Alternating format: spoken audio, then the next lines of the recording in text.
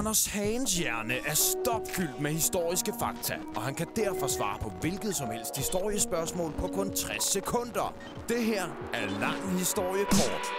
Det her det er stedet, hvor du kan gå amok med dine spørgsmål. Lad os finde dagens spørgsmål. Kommer lige her. Hvorfor hedder Danmark Danmark?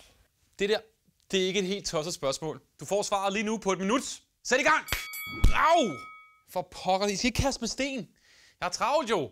Det kan godt være, at de ikke ser særlig imponerende ud i Jellingestenene, men det er det ældste sted, hvor ordet Danmark står skrevet.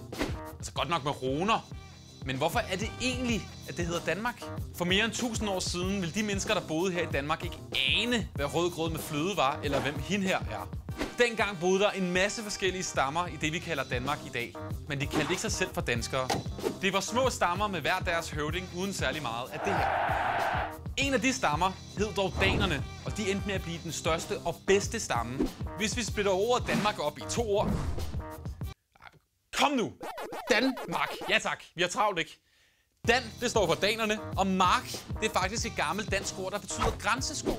Og det passer faktisk meget godt med, at danernes sydlige grænse til resten af Europa, det var dækket af grænseskov. Derfor hedder Danmark Danmark, fordi danernes sydlige grænse var en skov. Ja, mere opfindsom var det ikke. Tak for i dag.